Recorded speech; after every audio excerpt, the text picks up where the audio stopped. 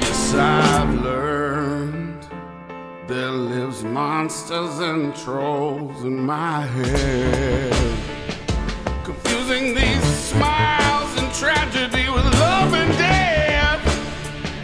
But one thing no one sees.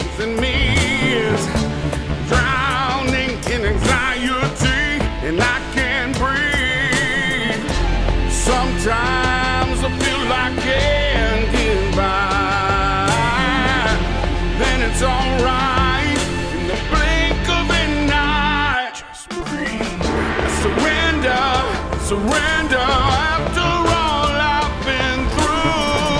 Surrender, surrender's what I must do. I can't change these things I feel, but I can help myself to heal. Surrender, surrender, so that I can